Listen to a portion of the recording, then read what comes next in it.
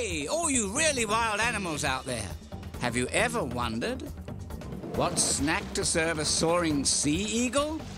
How does an orangutan learn to hang? What wild wanderer whistles through its whiskers? Is a panda really as cuddly as it looks? And why does this guy have such a big nose? Well, the answers are all ahead, so let's dive right in. It's National Geographic's Really Wild Animals.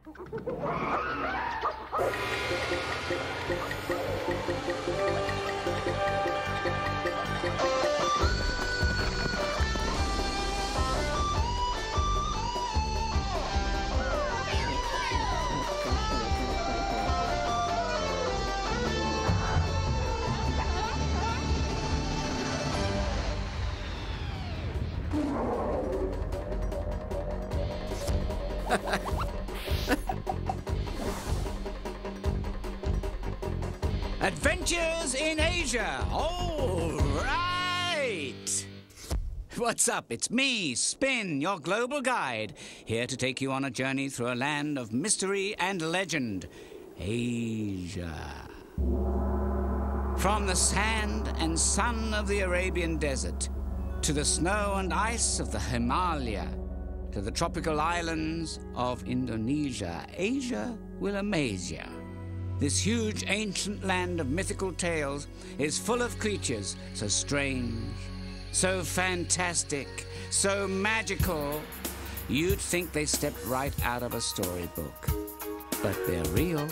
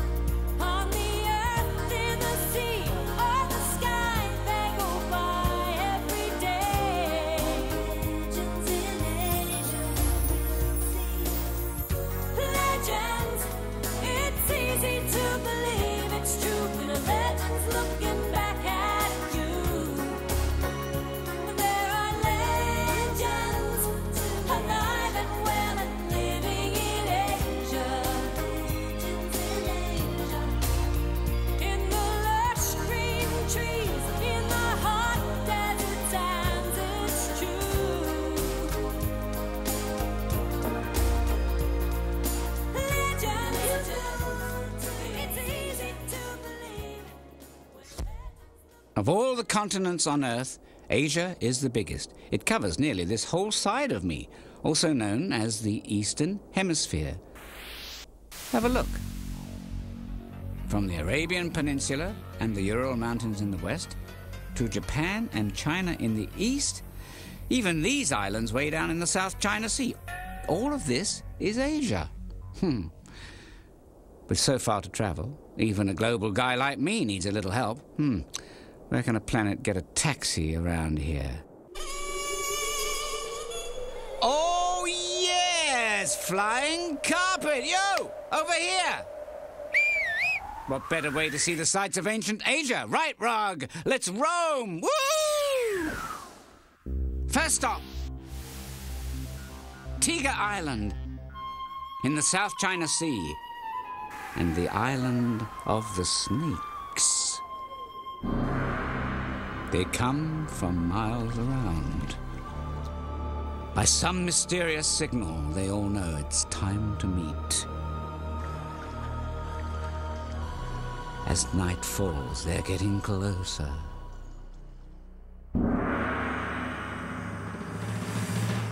Scads and scads of slithering sea serpents. Oh no, not that kind of sea serpent. These are sea snakes, some of the most poisonous reptiles on Earth. And when they come ashore, the local residents give them plenty of slinking space. Hmm. They are here for a special date to find a mate. All night long, they slither and slide over the island, but only a few will succeed and find a night of romance with a venomous Valentine. By morning, all the snakes, lovers and losers alike, have disappeared from sight. Except for this late morning Romeo. Better get your watch fixed, pal. He's back in the water, but he's not out of danger. The snake has been spotted by his ancient enemy, the white bellied sea eagle.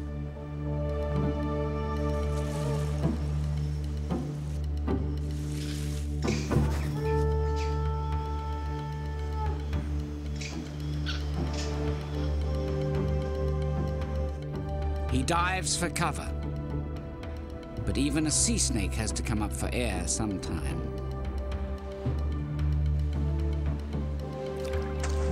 The eagle misses, and our friend goes free. But there's always another snake in the sea.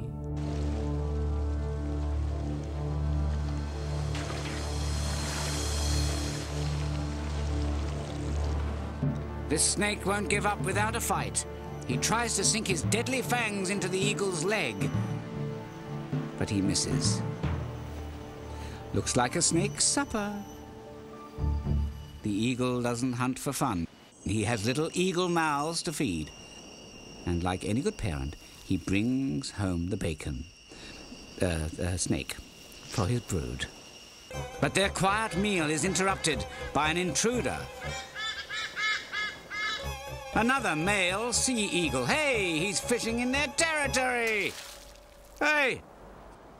Mom dive bombs the unwelcome visitor, but it doesn't scare him off. So Dad challenges the other male to the age old battle of sea eagle strength. It's called whirling. He takes to the sky with his opponent. They lock talons, and down they go!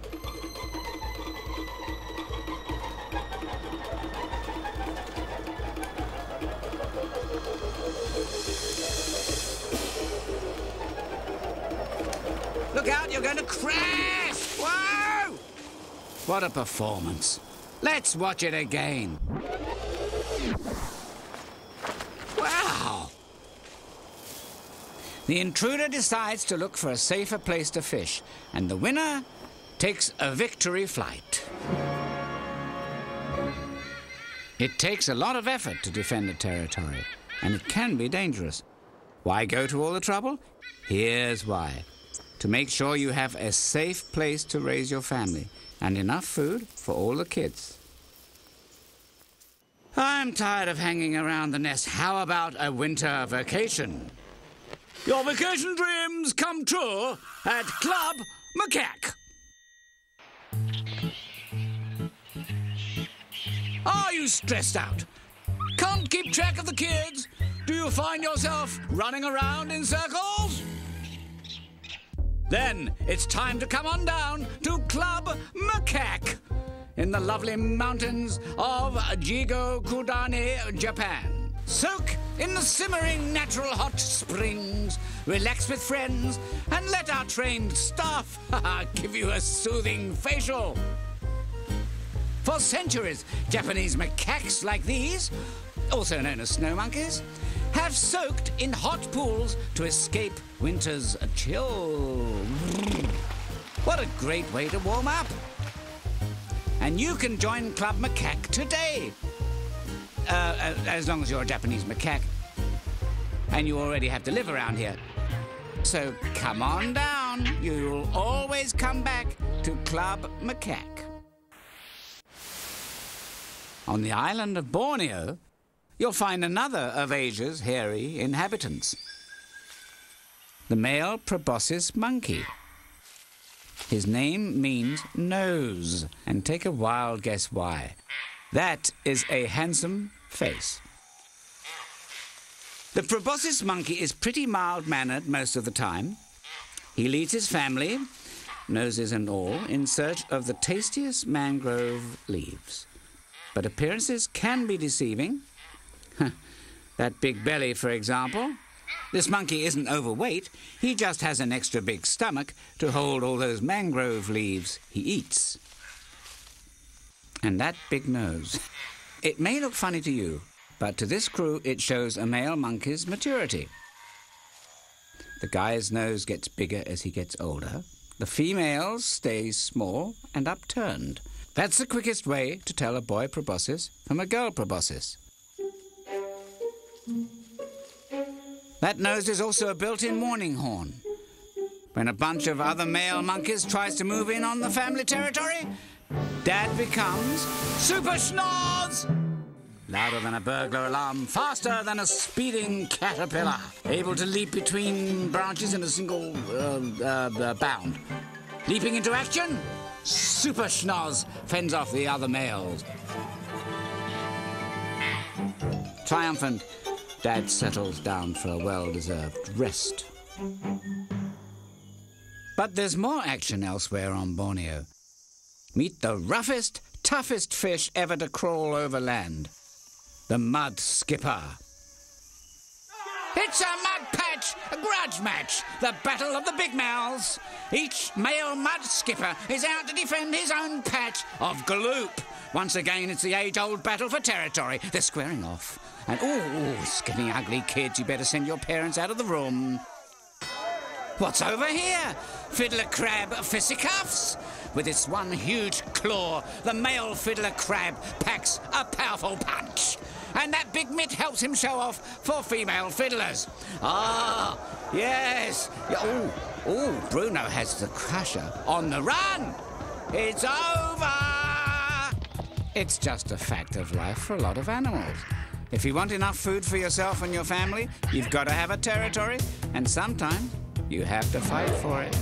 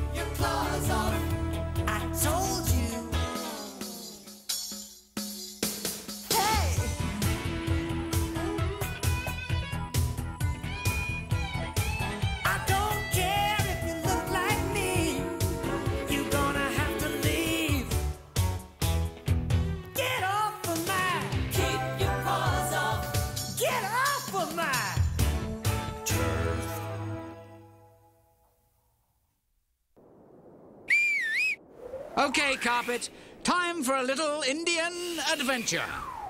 Oops, not Indianapolis, wrong continent. Ah, much better, thanks. India, the huge country at the heart of southern Asia. Did you hear that whistling? Is it a bird? Is it a gym teacher? Nope, it's a dog. Actually, it's a dhole, also called the whistling dog of Asia. They may look like your pet pooch, but they're really wild dogs that live in groups called packs. And while you might whistle for your dog, dholes whistle for themselves. That's how they communicate. Other animals clear out for dholes because they're fierce hunters. But even a hungry dhole patrol backs off when a herd of Asian elephants comes around. When you're 12 feet tall, everyone gives you your space. Most of the year, the elephant moms and kids hang out together, while the males stay on their own. But now it's the mating season, and a big male, called a bull, has claimed this herd. Another male challenges, and the heavyweights clash. That's about 10 tons of male elephant combined, as heavy as six minivans. Looks like the challengers had enough. Meanwhile, the dholes regroup. With all this commotion, they decide to take the scenic route back to their den. Not only do they whistle, but they're pretty good at the doggy paddle, too. These pups are just over a month old. All the pack members help out with puppy sitting to give Mum a break. The pups stay busy nibbling branches and brothers and chewing on grown ups' tails and ears. so little time and so much to bite. But for the adults, it's not all fun and frolic. That sounds the alarm. Tiger on the prowl. Time to move the puppies to a safer neighborhood. Yet another den. But the dholes don't have much to worry about from this tiger. She's got her own problems. Yes, with a male who's hunting on her territory. Male and female tigers almost never live together. Mom tigers raise their cubs alone. These guys may not look like little babies, but it will be a few more months before they're ready to live on their own as solitary predators. What's a predator? An animal who hunts other animals for food. Why do you think this male tiger is chasing these sambar deer? Not for a game of tag.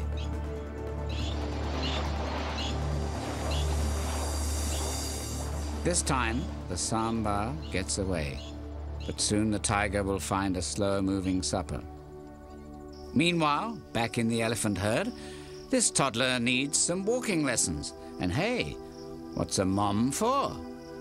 All this teaching will tire you out. Ah, nap time. Well, rise and shine, everyone. It's bath time at the all natural outdoor jacuzzi, also known as the local Riverside. And don't forget to wash behind your ears. When they get into the water, elephants are like a bunch of big kids. All that playing around helps strengthen their family bonds, not to mention their trunk muscles. That's right. Playing isn't just for fun. Let the games begin.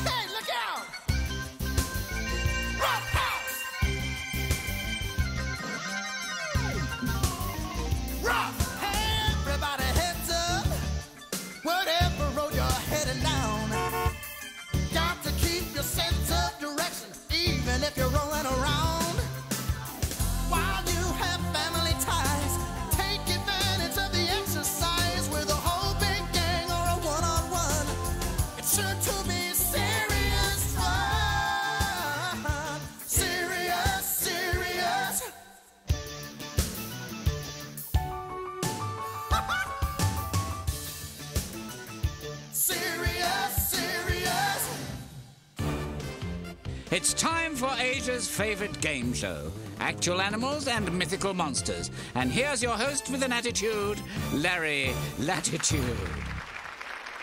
Hey, or. Ah, question number one Is there such a thing as a real, live dragon? Wrong. You think this dragon doesn't exist? Tell it to this guy. The Komodo dragon lives only on a few remote islands in Indonesia. This big beast can be 10 feet long and weigh more than 300 pounds. Don't worry, he's not breathing fire, that's his tongue. There's a knight in shining armor when you need one, right? No points for you. Question number two. What reptile is an Indian snake charmer's partner? Right, a cobra. Ten points for you. This snake packs enough poison to kill a person with a single bite. The cobra's not really dancing.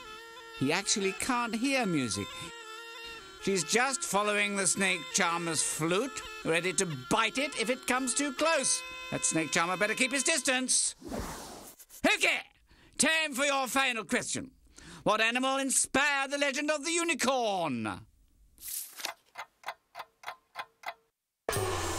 You're out of time. It's the Arabian oryx. It takes a bit of imagination.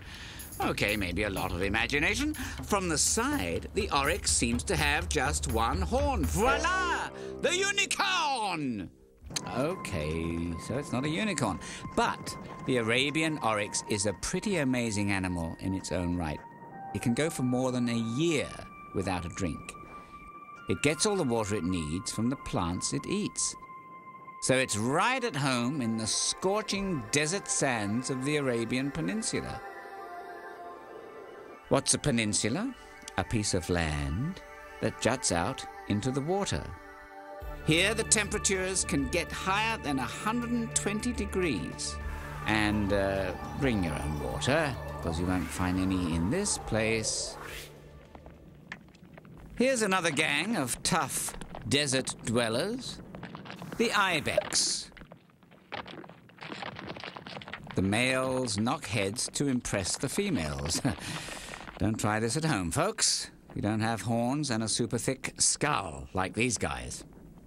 The winner gets the female, and he gets to become a dad to these kids, which are called um, uh, kids.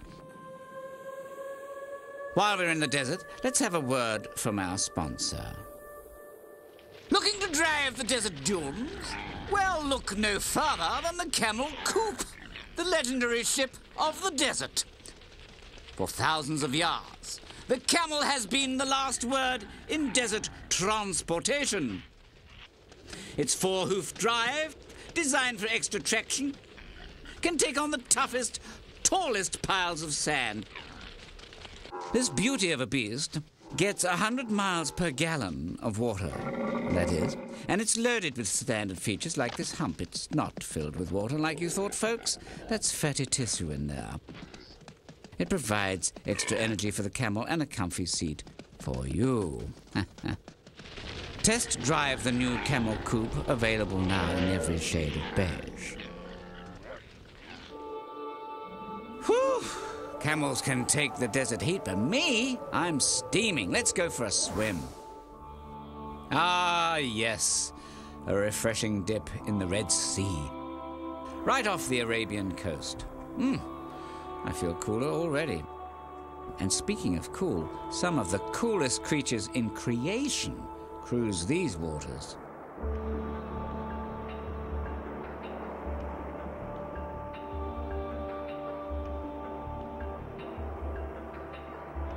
This may look like a garden of plants, but look again. It's a garden of eels.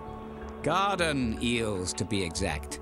Eels may look like snakes, but they're actually a special kind of fish. These garden eels feed on tiny animals called plankton that float in the water.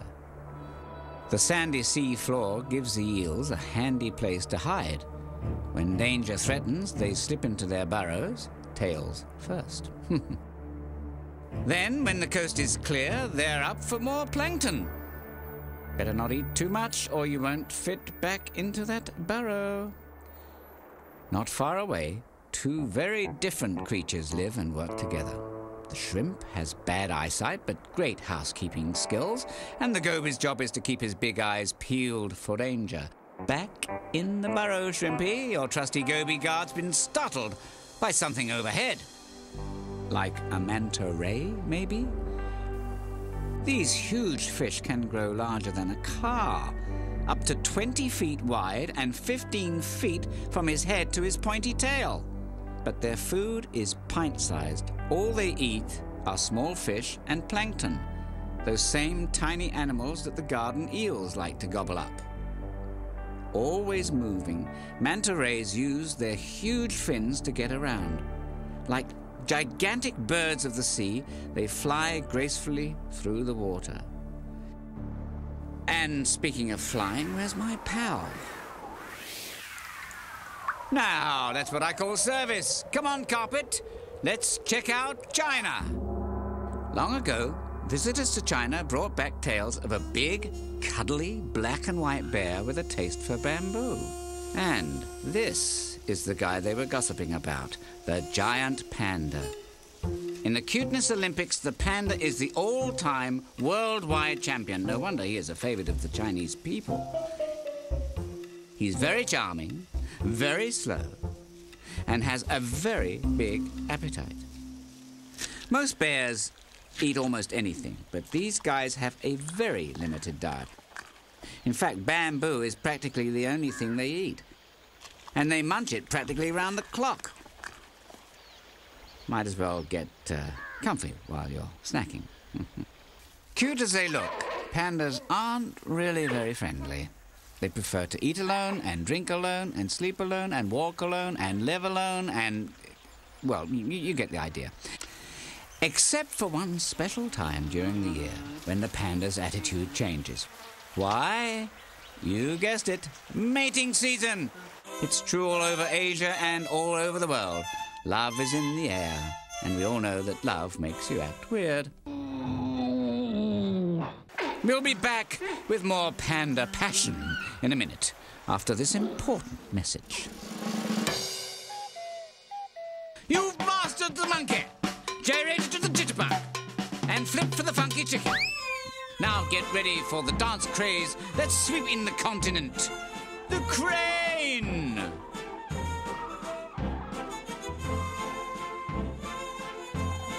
No one can strut like these Japanese cranes.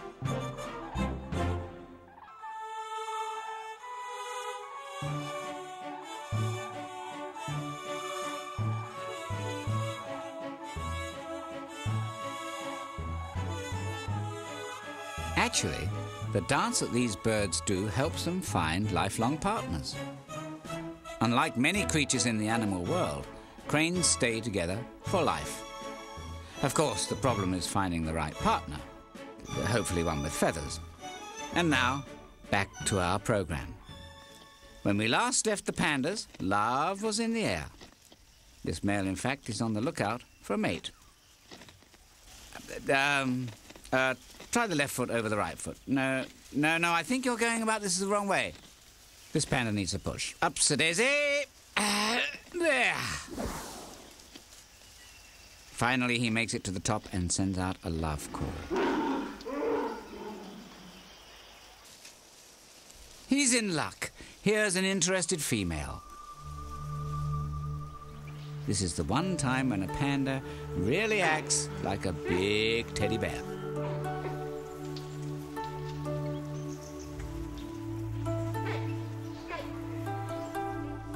After a few days, the pandas go their separate ways.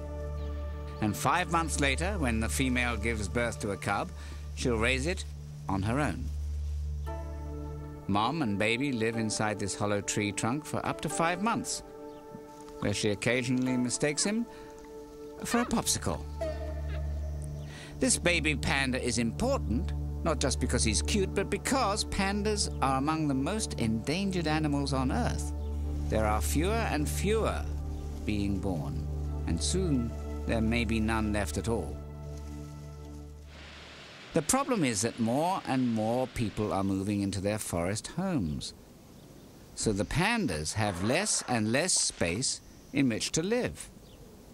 You see, Asia's not just big, it's got lots of people. In fact, more than half the population of the entire world, that's me, lives here. And human families need territory too. When so many humans and so many animals live in the same space, they're bound to cross each other's paths.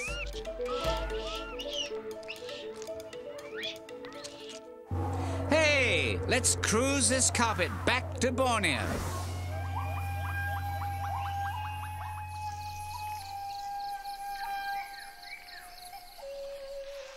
Deep in caves on the island of Borneo live tiny birds called swiftlets. Although a better name for them might be spitlets, because to make their nests they actually use their own saliva or spit.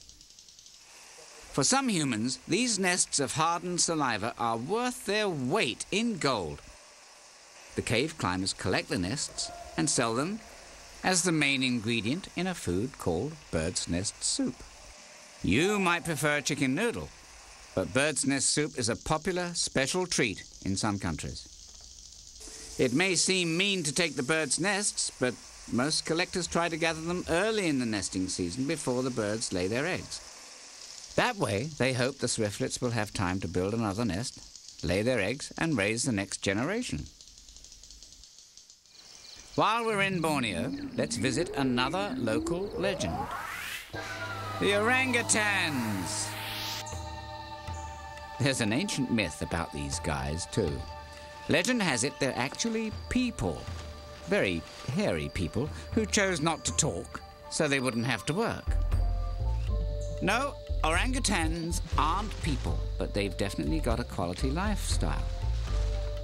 Hanging out in the trees, swinging from vine to vine, eating fruits and leaves most of the day, and uh, look at those arms.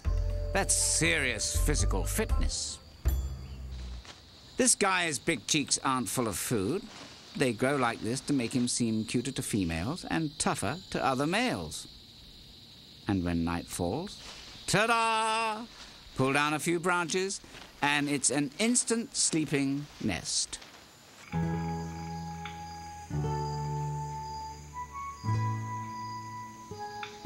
Mom orangs and their babies usually stay together for about seven years until the youngsters are old enough to care for themselves. But some baby orangs are taken from their moms by people who want to sell them as pets. That's one of the reasons they've become endangered. This little guy may look like he's being kidnapped, but he's actually being saved from the ape snatchers. These scientists will keep him at a special camp in southern Borneo and try to teach him and other orphan orangs the skills they'll need to survive in the wild. Skills like good hygiene, carpentry, and neatness. Hey, come back with that laundry. But trust me, when these apes aren't getting into trouble, they're learning to do what orangs do best be wild. Because they aren't really humans, they are really wild animals, and that is how they ought to live. Being wild in Asia can mean so many different things because across this vast continent there are so many different places to live. And no matter where you find them, from the Arabian Peninsula to the tropical islands of Indonesia to the snowy reaches of Siberia, these animals have all found their own amazing ways to survive. It's no surprise that there are so many surprises on the Earth's biggest continent, Asia. We're looking down from the gaze at you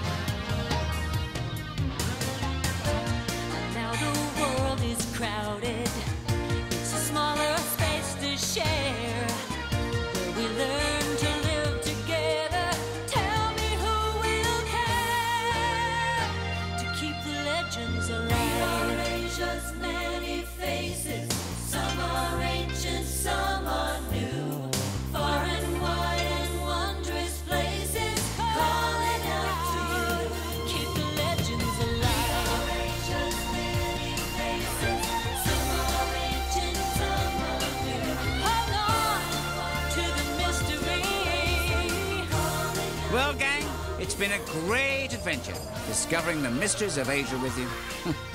oh, and special thanks to my air taxi and all around amigo, the carpet. Thanks, buddy. Long may you hover.